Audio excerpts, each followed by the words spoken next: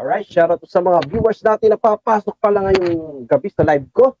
At uh, welcome back again to Kuya Rans TV YouTube channel. Tayo po ay live na naman.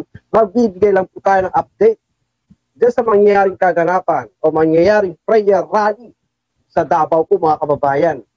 Pero meron tayong announcement ha. Ito yung tungkol po ito sa, ano, kasi may nabasa kasi akong comment sa post ni SAS, no? Na nagtatanong kung paano daw registration tungkol dyan sa ano, eh, bayad daw ba? Eh, yan po ay walang bayad po ha. Ito po, oh, post ni Sir Jay Sonsa. At pakibasa po ito sa mga nasa Davao po na pupunta dun sa magaganap na rally. Ito po, ito, this is, this is to inform supporters and leaders of FPRRD that the upcoming leaders forum on January 28, 2024, Sunday at 9 a.m. Brad Wednesday hotel slots are limited. Attendance is by invitation to this leaders forum. Please take note that for those uh, traveling from outside Davao City, it would be much appreciated if you could take responsibility for filtering your transportation and accommodation. Uh, accommodation. Sorry. However, all FPRD supporters, leaders, and coordinators of all groups are invited to attend the 6 p.m. on the same date uh, candlelight prayer rally at Rizal Park in Davao City to be led by FPRRD. FPRRD. The rally aims to promote transparency, accountability, peace, and security that our nation longs for. So mga kababayan, etong ati, etong post na ito, no, paalala lang po, kasi may mga nagtatanong po tungkol sa may bayad daw ba, yung pagpapa-register, uh, register. Wala pong bayad yan hindi po yan ano, hindi po yan kailangan bayaran. oh, may nag may nak, nabasa kasi ako post dun sa post ni ano ni Sas Roganto Sasot, no? At uh, yun po, wala pong bayad. Mamaya, panoorin natin itong video ni Batong Aratilis kung saan nga po ay na-interview niya isa sa mga organizer ng mangyaring rally na yan. At according po to sa, na, sa organizer mga kababayan, nauna pala yung rally na yan bago pa itong kick-off rally ng kabila. Ginaya lang daw itong rally ng, ng prayer rally ni, ng mga Duterte. Oo. Actually, hindi kanila alam talaga na meron pala magaganap na rally din dito sa bukas, no? Kasabay niyang uh, prayer rally sa Davao. Alright? Shout out po sa ating mga viewers. Venus Diaz, good evening. Sagittarius, good evening. Mariam Ahi, good evening. Uh, Susan Gamboa, good evening po. Ayan, shout out po. Warriors Channel, Sonia Bronze, good evening po ha.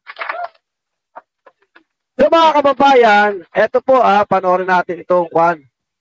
Uy, but uh, eto po, panoorin natin itong kay, ha, kay Badong Aratilis na vlog kanina. Actually, live stream ito eh. Hindi ito vlog eh. Live, ano, live stream ito kanina. Napanood ko lang din no, kung saan nga po, na-interview niya po yung uh, organizer ng rally, uh, yung prayer rally na gaganap nga po dyan sa ano. Pero eto muna pala, eto muna. Oh, pakinggan, panoorin natin ito. Maiksi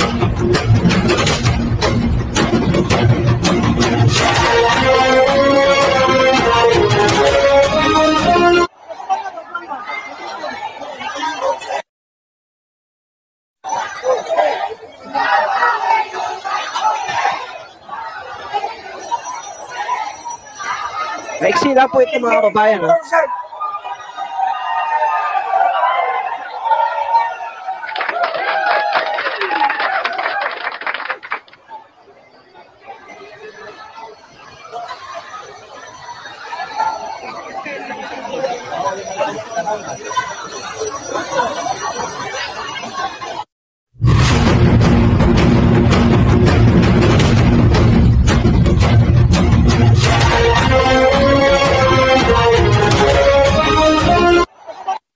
Yun o. Uh, eto po ay, etong, etong ano na to, rally na ito, nung nakaraan. And for sure, eto ay a-attend din po bukas. So, ang expected na dadalo po dyan sa prayer rally na mga kababayan ay nasa 50,000 daw po, according doon sa organizer niyang prayer rally. Dito yata sa kabila, para na ang in-expect nila, kailangan daw makabukas sila ng 250,000, pero niya ang dami. pero, yun nga lang, sa pilitan daw sa kanila. Oo. Dito wala sa pilitan ha. Wala sa pilitan dyan, pero ang balita ko, marami na raw mga taga, galing Luzon, ha? mga taga Luzon na pu- pumunta dyan sa, ano, kaya yung mga hotel dyan, eh, parang fully book na raw. Totoo ba yon? Sana ang ginawa na lang ng mga taga Luzon, no, ah, galing sa Luzon, may tent na lang sila. Tapos doon na lang sila matulog sa Rizal, ano, sa, dyan sa Rizal Park. O Rizal Park yata ang kanayan. No, diyan na sila matulog, no? Kaya lang, pag CR nila, paligo nila, paano kaya? Alright, mga kababayan, ayan po ha, anak, mapanood natin yung unang video na ating pinanood. Yan po yung nangyari kaganapan nung nakaraan, kung saan nga po ito mga ito ay tumututol talaga sa People's Initiative ni Tamba. Russia, shoutout ha, Delilah Charlton, Chrissy Brooks, Elsie Chan, Willie Montesa, Efren Infante, Evelyn, shoutout, good evening po. Alam ko kayo galing sa live ni Maharlika, nagkwento siya ng kanyang ano, kanyang ah karanasan sa buhay. galing din kasi ako doon eh. Ah, galing din ako sa live ni Maharlika. Anyway, eto nga po no, ah unang pa ano, ulitin natin 'to. Ulitin natin. Sarap pakinggan ng umpisa eh. Sarap maging intro.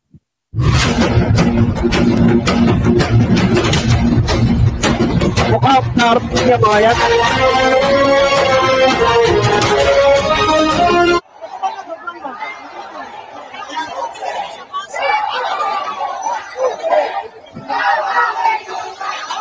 Nabaway nyo not for sale. Yan ang sinisigaw nila.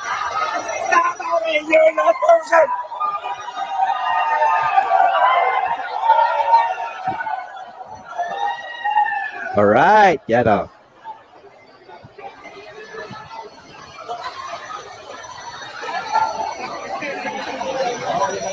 So yan ah, ah, yan yung nakaraan na ano ah protesta no diyan sa People's Initiative na yan at sinisigaw nga nila Dabaway nyo not for sale bagong Pilipinas mahal ang bugas. Yan ang sinisigaw nila diyan. Alright? So ito ang ating isang ano, isang ah, video na papanoorin na kung saan nga po itong si Ba't ito na yun? Hindi ko na isang yata. Ay, Sige, sige, hanapin ko lang.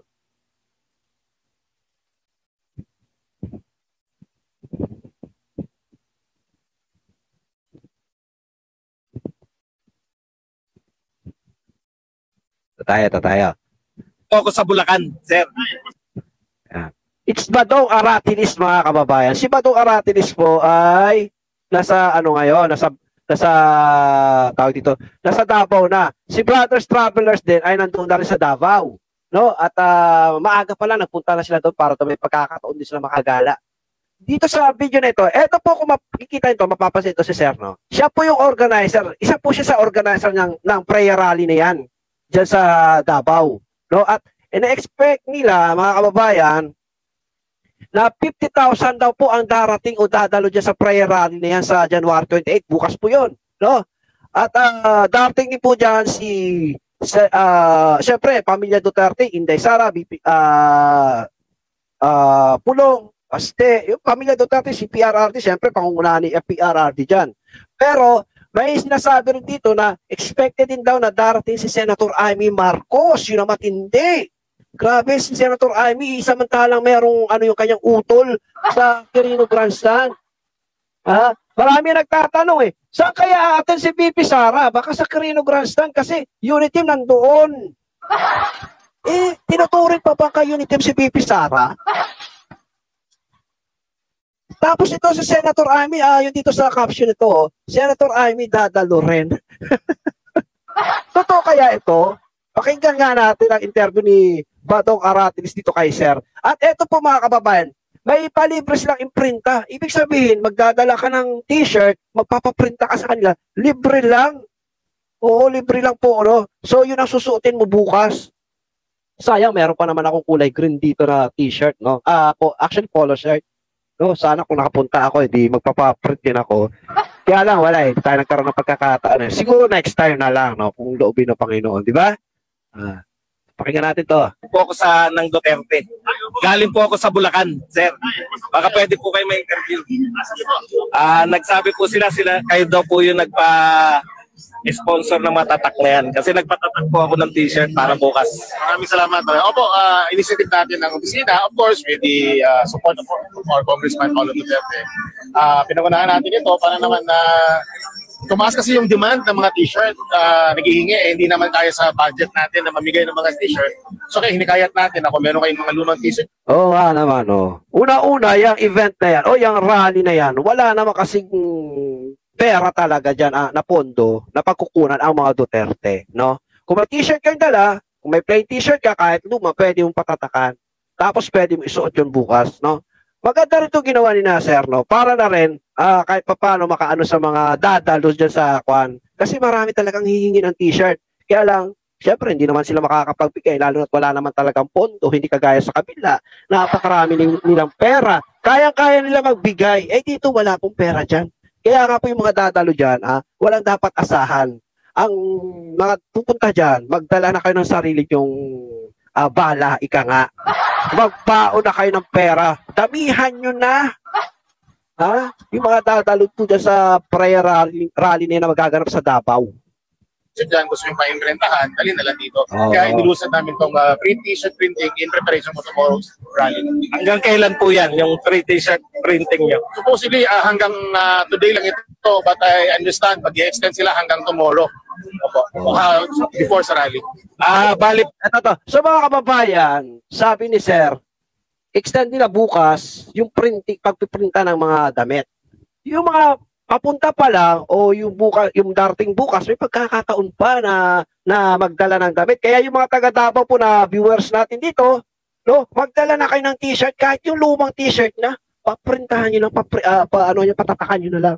Sayang din naman itong pagkakataon na ito para may maisuot kayo doon sa sa mangyaring ano po no prayer rally sa sa ano sa Rizal ah, ewan ko kung anong eksaktong pangalan ng ano na yan eh no ano bang eksaktong pangalan nun na pla, yung pla, pinaka-plaza diyan teka tingnan ko ha. Ano ba pangalan ng ri- ah, plaza na yan? May eh, may pangalan yan. Basta ang natatandaan ko lang kasi Rizal eh. Oh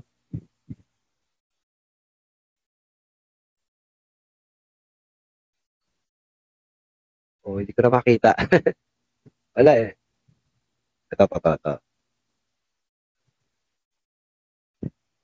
Ito, may mga announcement, ah, may mga announcement pa si Sir Jay Sonsa dito. Kita-kits po tayo bukas. We are live on remote broadcast from Davao City tomorrow, Sunday, January 28, 2024 on all new media platform, our own website. We will publish the channels, pages, and account name tomorrow morning before 9 a.m. Alam nyo, kababa, mga kababayan, kailangan po talaga maikalat itong magaganap na ano dyan, yung rally.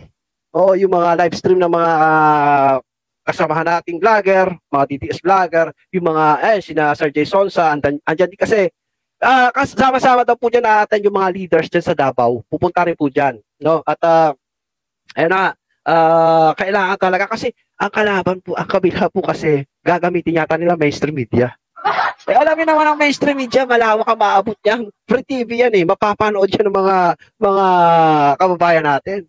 Huwag natin sila palang ituring na kalaban. Hindi sila kalaban actually. mga friends sila. Kaya lang, sinabayan nila itong rally no na gaganapin dyan, gaganapin dyan bukas sa ano sa sa sa Davao. Nauna pala itong Pinlano. Oo, parang sinabayan lang ng kabila no ng ah tawag ito, kick-off rally na, na yan. Ito, ito, ito. Ah, Rizal, ah, Rizal Park in Davao City.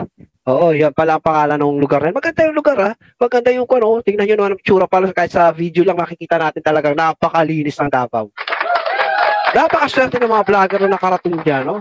Yung mga mga kababayan natin ma, na, na makakarating dyan, napakaswerte nakatapak sila ng Davao. Sana next time, no? Sana next time makarating tayo dyan sa Davao na yan. Para naman ma-experience naman natin yung yung na-experience ng mga Davaoenyo, nakakaingit kayo eh. Bakit pa may ganyan kayong leader dyan? Ha? Sana sa lahat ng lugar ganito, no? Mapagmahal sa bayan. po kasi na napasabihan po kami bukas may magaganap yata na meeting ng mga leaders tapos sa hapon po yung rally. Ano po ba yung magaganap bukas para po mas maliwanagan yung nanonood sa atin sa iba't ibang parte ng Pilipinas? Ito po ba tatapatan daw nyo yung sa Quirino Grandstand? Totoo? Ayan, yung tanong ni Badong ha, eto po ba itatapatan nyo sa Quirino Grandstand? Pero medyo na-shock si Sir eh. Wala pala siyang alam na meron, hindi niya pala alam na meron magaganap sa Quirino Grandstand. Na-shock siya, nagulat siya. Ano meron ba? Tuloy natin ha. Totoo po ba yan? Sa totoo lang, hindi ko alam na meron pala aktibidad sa Quirino Grandstand. Oh. Sabi niya, sa totoo lang, hindi ko alam na meron palang aktibidad sa uh, Quirino Grandstand. Sabi ni Sir kasi dito mga kababayan, ma- matagal na nilang pinlano ito. Yung sa Quirino Grandstand, Grandstand kasi, ah yung kick off rally, parang biglaan lang yun eh. Si Maharlika pa nga nag-post nun eh. Biglaan lang talaga. Actually, hindi pinost pala. Nag, nag, ano, na, nag-broadcast, no? Biglaan talaga yung kanila. Parang, siguro nga, gusto talaga nila sabayan itong prayer rally sa Davao. No? Ginaya nila. Hindi ko alam na may Oh. aktibidad sila. Nalaman ko lang na parang baliktad, parang kami atang tinatapatan. Pero uh, tinapatan man o hindi, eh talaga nakaschedule na ito. Ah, so wala pong kinalaman, hindi po kayo, ta- kasi yan po yung lumalabas eh. Tinapatan daw ng mga Duterte yung rally sa Quirino Grandstand. Oh, yun din actually ang pagkakaalam ko mga kababayan, eh, medyo nawawmali ako ah. Ang totoo pala, ito palang ah, prayer rally na magaganap dyan sa Davao, ay nauna pala itong naka, ano, no, naka-schedule talaga. Kumpara dyan sa Quirino Grandstand. Hmm. Kasi may mga nagsasabi, eh, ginagaya naman ng taga Davao itong mangyaring ano, ah, kick-off rally sa, sa Quirino. Ah, akala ko naman, oo nga, no, ba't kaya ginaya ng, ano, ng mga taga Davao? Hindi ba pwedeng sa, iba, sa isang linggo na lang para mas marami ang umaten? Yung pala, talagang naka-schedule na pala ito mga kababayan. So, mali pala ako nang inisip. Oo.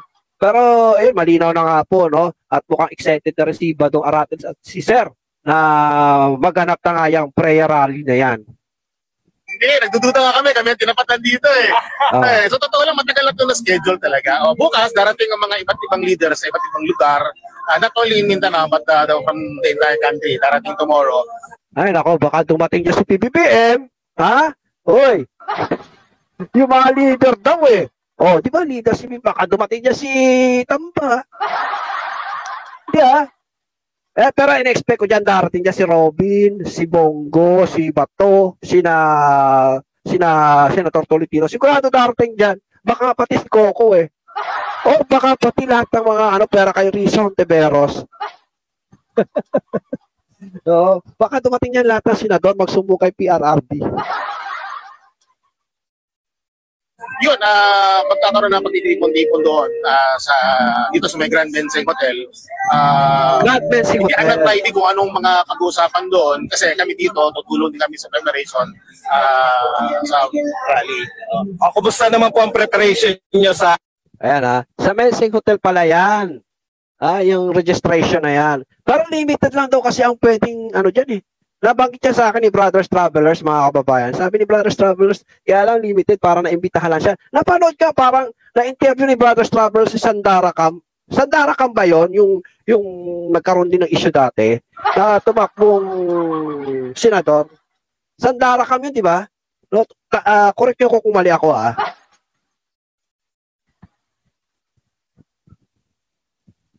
Ah, okay. Eh talagang, oh, basahin ko muna yung mga comment kasi may mga nakakaalam dito, eh, no? Ah, ah, Scorpion, yan, siya, 72 shoutout. Pamina Carlos sa shoutout. Prince, ah, Princess Jumaira, magandang gabi po. Shoutout sa iyo. Totong Johnny, Farmers TV. Sabi ni Michael Maserto, nagsabi na si Am hindi pupunta dyan sa Davao. Ay, okay. Hmm. Well, siguro, ah, ayaw pumunta pareho. Baka maintriga lang siya. Matawag uli siyang Marites. Okay. Uh, gandang gabi, Totong Johnny, ha? Kaninong rally yan, bro, sa Luneta? Bas ang panghakot sa tao. Uy, malamang sa alamang. Oo. Eh, LC Roble, kick-off rally ng bago Pilipinas last December pa dapat gawin. Eh, bakit di natuloy? Eh, kasi siguro nga, nag-ano sila talaga ng ano, pina, uh, pinixan nila kasi alanganin sila sa, ano, sa tao.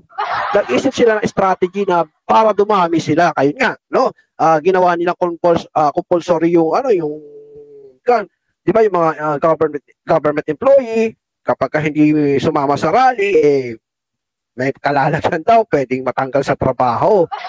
Oo. So ngayon mga kababayan, para siguro para ano eh talagang pinersa persahan ang ginawa nila. persahan ang ginawa nila na ah ano ah obligahin yung mga empleyado ng gobyerno. Pero ayun no, persahan talaga ang ginagawa. dito wala eh. Wala dito. Hindi pwede persahan dito. Ba- bahala ka hindi ka a-attend. Ikaw rin naman mawawalan. Hindi mo makikita si former President Duterte. Kagaya ko, isa sa mga pangarap ko, makita si former President Duterte noon pa, pero hindi ako nagkaroon ng pagkakataon. Siya, ha, good evening. Oh. Bakit Tarakista, good evening ha. Ria de la, uh, na, Sandra Campo, yun, Sandra Camp, akala ko Sandara Camp. Sandara, Sandara Park pala yun. akala ko Sandara Camp eh, no? O, di ba na-interview ni Brothers Traveler si Sandara Camp?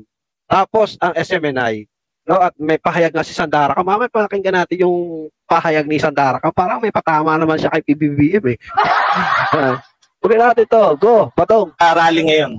Ay, maganda naman po at uh, kasalukuyan naman uh, in place na yung security measures natin. Kasi yun ang unang-unang Oh. ah, concern natin, no? yung uh, seguridad. Yes, tama. No, yung seguridad talaga dapat eh i-ano din nila kasi mamaya, alam niyo na, no? Ang mga masasamang ah, ano eh baka gumalaw diyan, alam niyo na. Kaya dapat talaga at ang mga law enforcers diyan, no, at ang mga magigiting na kapulisan ay todo ang ban- pagbantay nila. Doble ingat and make sure na bawat mga pupunta diyan eh obserbahan, di ba? Kaya sana wag na magdala ng mga bag no pan pero kaya lang paano kung galing ka ng Maynila may dala dala kang bag. Iwan na lang sa hotel. Pwede gano'n, no? Sana yung mga pupunta dyan, wag may mga malalaking bag na dala-dala. No? Kung, kung, kung, kung kayo ay umupa ng hotel, iwanan nyo na lang sa hotel yung, yung mga bag. Ma- Mabigat din kasi pagka may dala-dala kang bag eh. No? Pa, talaga para siguradong, ano, siguradong walang kwan, di ba? Alam niyo yung mga masasamang loob. May dadalang, daladalang bag yan. Baka ilagay pa nila dyan yung kanilang mga pwedeng gawing pampaano dyan, pampasabog. Anjo Campo, shoutout ha. Sana wala taga China, ano sila sana atin si Manong Keeps at yung member niya para masaya. Anjo Campo, huwag ka mag-alala. May mga Chinese dyan na darating. Oo. Gusto mo munta ka. Bigyan kanila ng ano, ha? Yung mga Checo Beha, pupunta dyan. Hoy, Anjo Campo. Baka, ba, baka gamit ko sa bahay mo, gawang China, ha? Anong issue mo kay, ano naman issue mo kay Kips? Baka naman, takam na takam ka kay Kips.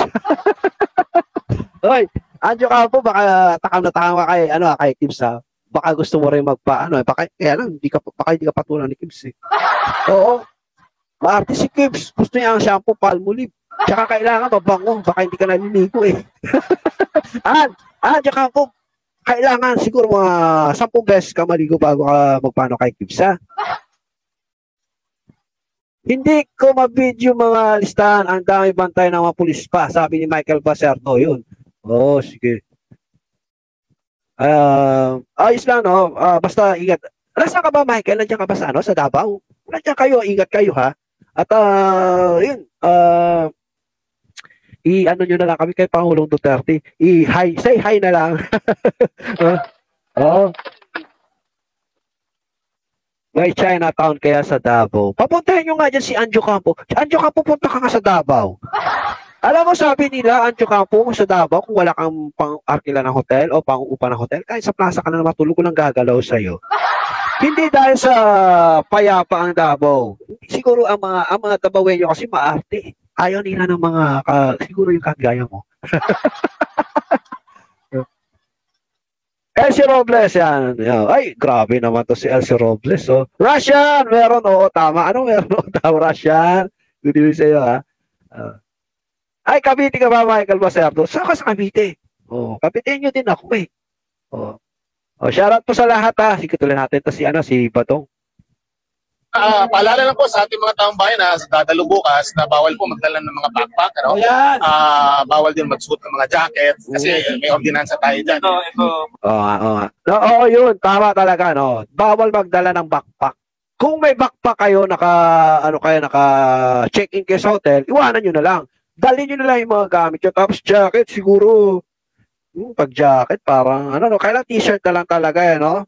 Oo, para iwasin, ano, kasi mga kababayan, alam niyo naman, di ba, yung mga masasamang loob, intindihin niyo na lang po yung polisiya dyan ng, ano, ng, ah, ng, ng mga organizer, ha? Unawain sila, huwag kayo magagalit.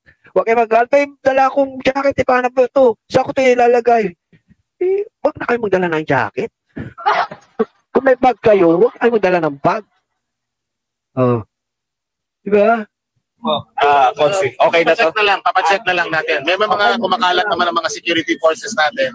Ah, kasi para lang masiguro natin, no? Hindi natin alam kung anong mga balak ng mga masasamang elemento. Pero Tama. siguro natin Oo. So kung may bag kayo, mga kababayan, no, let's say may bag dala, dadala kayong bag, kung lumapit kayo sa mga kapulisan natin, ipa-check nyo. No? Kayo na kusang magpa-check ng inyong mga bag, pa, ano yung pakapaan nyo. No? Tapos yung, yung mga jacket, ipa, ano yun na, pa-kap-kap nyo na para talaga sa seguridad din. Di ba? At para gayahin din ng iba.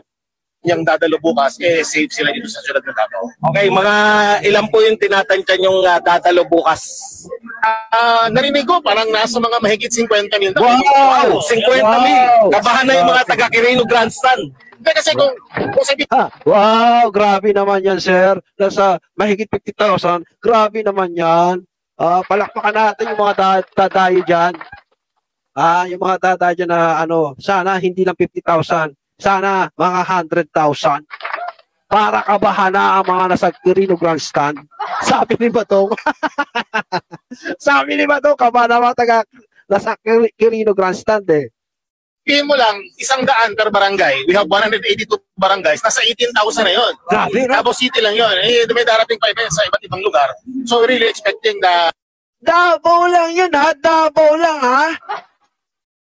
Eh paano pa kaya pag tumating na nasa galing ng Luzon, galing ng Visayas, kasi Mindanao naman yan, di ba? Galing ng Visayas, Luzon, ay, nako, wala na. Iyak na sila dito. Ay, nako.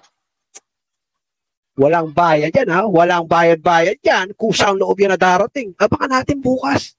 Sana talaga, sir, no? 50,000 more ang dumating. At ah, sigurado kami mga nandito nag-aabang eh matutuwa talaga ng labis. At sigurado yung iba doon iiyak ng labis. Pag nakalaman nila, ganyan pala karami mga supporters ng mga Duterte, sabi nila kasi may nanaro mga Duterte. Maraming tao darating. Kaya nga, yung mga kalsada, kalsadahan kami dito na papasara, sarado muna. Kaya ini inikayat natin yung mga motorista na kung pwede, naglabas na tayo ng listahan sa mga kalsadang iwasan para hindi na sila maabala bukas. So maraming maraming salamat po, uh, Councilor Tech Ocampo, no? Ah, tama Ah, Councilor pala yan, si Councilor Tech Ocampo. Sabi ni S. Robles, oh, oh, oy, Manila next. Sure! Bakit hindi? Ah, di ba? Kita tayo sa Manila pag sa Manila na next. oh, Mamina Calasal, shoutout sa'yo, ha. Sabi ni Michael Masarto, si BNR sa si Bistak hindi ata nagpunta. Ah, baka hindi sila makaalis, no? Oh, Ganun talaga, no? May mga kasamaan tayo na ano. Kagaya ko, hindi rin ako makaalis. Ako kasi talaga, pagdating sa budget, wala. Alahin nyo. Hayaan nyo, pagka, ano, no, eh, pagkahanda natin. Sikreto kasi ito, eh. Na, nalaman ko na lang ito na may ganito mangyayari dahil, dahil kwinento, noon may nag-comment yan na isang viewers natin na na meron nga magaganap na rally. Akala ko nga, kick-off rally, hindi pala eh. Prayer rally pala yung sa Davao. Akala ko isa lang, hindi pala. Magkahiwalay pala. Yeah, okay lang ma'am, test service kahit na hindi na iwan. Basta ipacheck lang sa ating mga kapulisan dyan no, na nagbabantay para talagang ang seguridad eh ma, ano talaga no. Oh. Mirasol Gumaton, shoutout, good evening ha. Pa po ba? Kasi ah, ngayon lang, eh, hindi ko po kilala yung ibang ano, taga Bulacan po kami. Ah, so talagang tinututulan po namin yung ano kasama po kami, kaming mga vlogger ni Pangulong Duterte at ni ah, BP Sara, tinututulan talaga natin yung ah, PI. PI na yan. Kasi Ah. hindi kami naniniwala din na ito talaga ay People's Initiative. Bato, ano ba talaga ang meaning ng PI? May iba daw kasi meaning ang PI na yan eh. Oh, sabi ni Siya, Davao, Davao, daming tao doon, dami rin kapit probinsya supporter ni Tatay Diggs, sabi ni Siya. Kaya nga po, no. Donya Zadam, shoutout sa guber- ah, government employee, magpakanto kayo, huwag nyo ibenta ang bansa sa mga magna cum laude. magna, magna cum laude. ang importante dala na natin ang katotohanan. Hindi kawalang yan sa kurap na bayan. Grabe, itong comment na ito ni Donya Sadama. Mayaman siguro ito, Donya eh. Oh, shoutout to siya, Ma'am Donya Sadama. Oy, Jenny, shoutout sa Jenny. Musta na, Jenny? Oh, yan. So, uh, yun mga kababayan, ha. Malalaman natin ito bukas. Talagang tututok tayo dito, sigurado. Nagpaalam din ako kay Brothers Travelers yung kanyang ah, live. I, ah, ano ko, no? I-re-relive ko. Para may kala talaga. Ano sa tingin niyo? Wala, eh wala eh. Kanilang initiative lang yan eh. Alam nyo, itong napag-uusapan lang itong pag-amend ng Constitution. Si Pangulong Duterte nga, gustong-gusto niya noon yan eh. Kasi gusto niya federalismo. Pero hindi niya pinilit. Dahil nirespeto niya yung taong bayan. Correct. Oo, oo. Ang taong bayan kasi dapat, ang susundin, hindi yung matatakaw. hindi totoo, di ba? Dapat, kasi sabi nga ni Pangulong Duterte, ang boss nyo ang taong bayan. So kung ano yung desisyon ng taong bayan, yun ang sundin. Di ba? Doon man naman talaga, sino gusto isulong yung federalismo na yan, mga kababayan, pero hindi nangyari kasi nga, si Pangulong Duterte, sumusunod lang naman sa taong bayan, na kung tutuusin naman, marami talagang may gusto. Oo.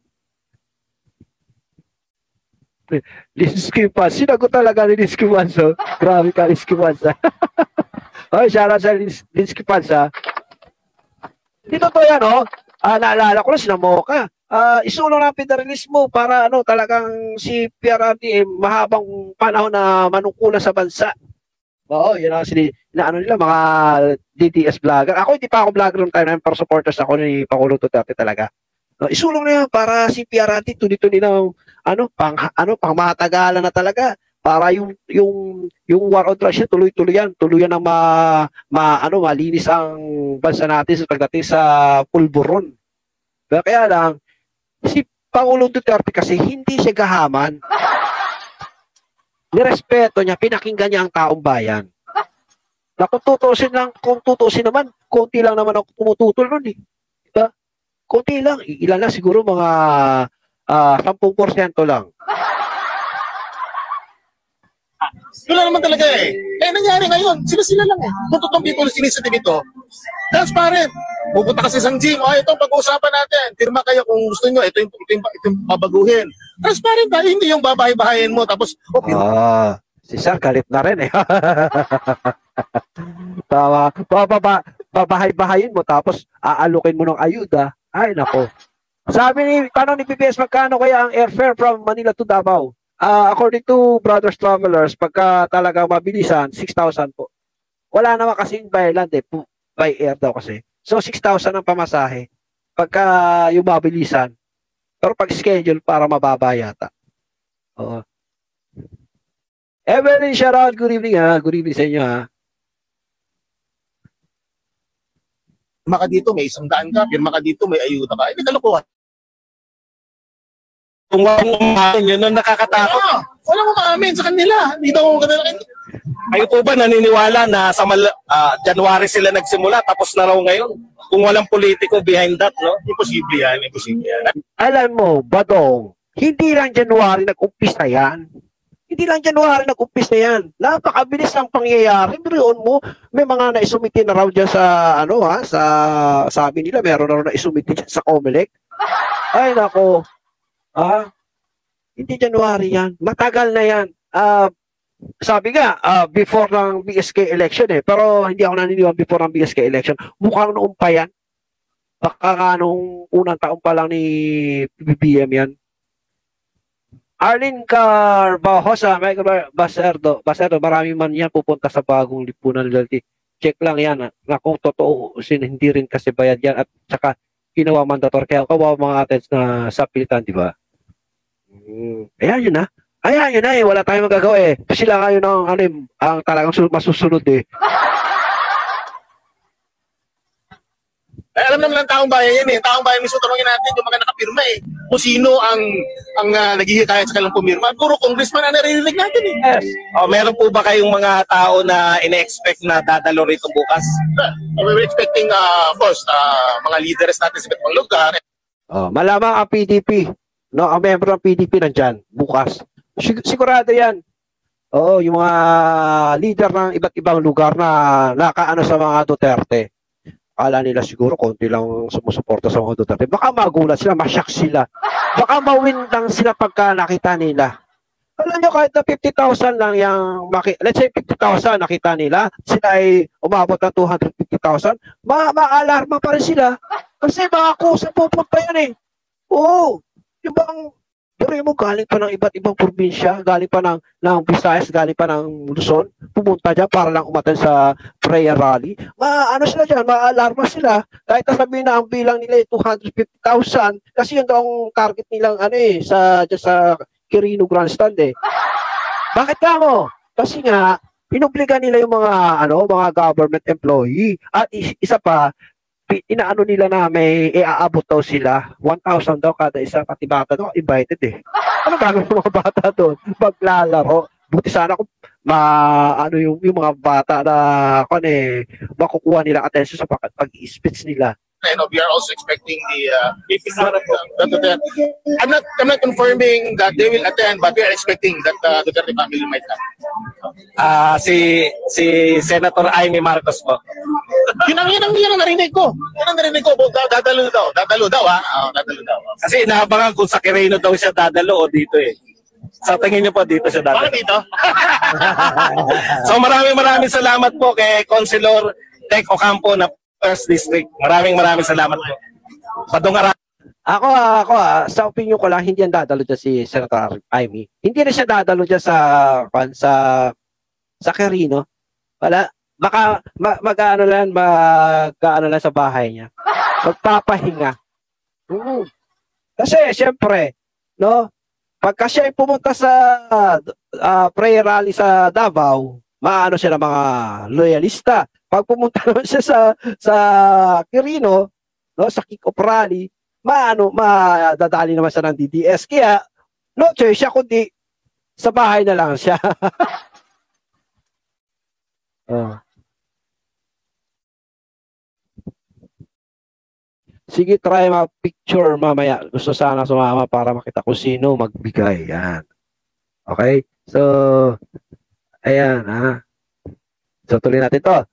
Boss Badong, nabiting kami. Atris po. Ah, thank you po, thank you po. Ah, pwede po ba umikot lang dito para makita po natin yung mga pagtatatak at paghahanda po ng ano ng ating mga kababayan. Thank you po. Ayan po si ah, Councilor Tech Para laki siya ng, signal ah, dyan, oh. Hindi na yung live ni ng ah, ah, Davao City. Yan, na-interview po ako sa ng Duterte. Galing po ako sa Bulacan, sir. Ay, Ay, pwede po kayo ma-interview. Naulit na, naulit na. So, ayun mga kababayan na pala dati, no, itong ah, interview ni Badong sa kay ano kay kay ko- konsihal oh, ng first district nakalimutan ko ang pangalan. Ang bilis ko mag-kunyanin eh, no?